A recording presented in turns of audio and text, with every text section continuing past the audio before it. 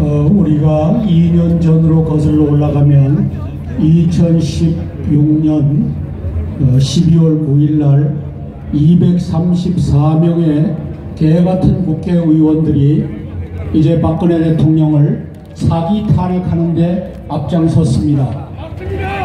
자, 그러고 나서 8일이 지난 12월 17일, 2016년 12월 17일 사기 찬탈 대통령 문재인이라고 하는 자가 사기꾼 문재인이라고 한, 한 자가 뭐라고 얘기했습니까? 헌재가 탄핵을 가결시키지 않으면 인용하지 않으면 혁명을 하겠다라고 했습니다.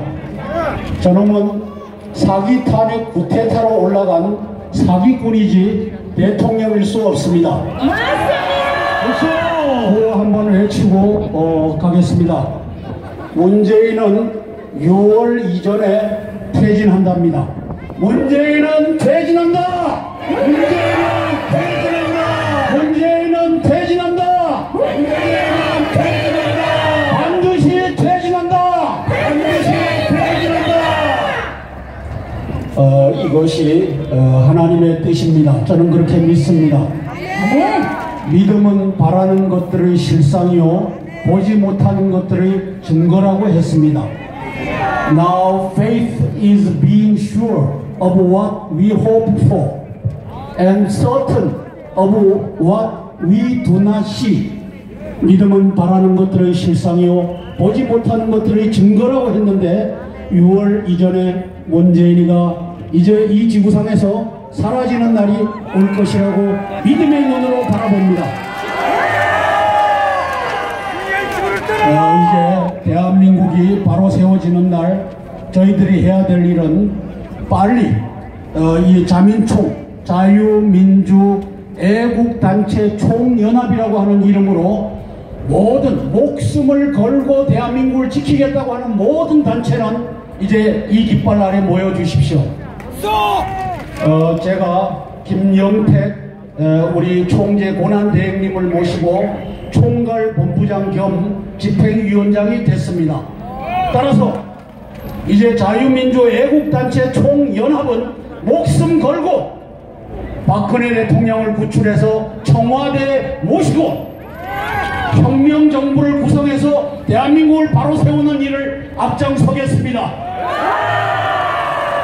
문재인이는 장, 재작년 12월 17일 날 내가 3월 10일 날 3월 10일이 돼버렸죠.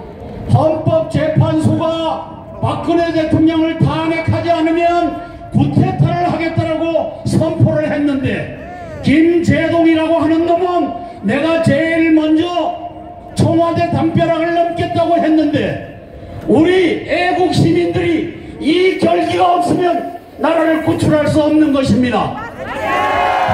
여러분 자유민주 애국단체 총연합회 깃발 아래 모여서 우리 김영택 총재 고난대행님을 모시고 이제 대한민국을 살리는 일에 앞장서시겠죠? 우리는 앞장설 것이다!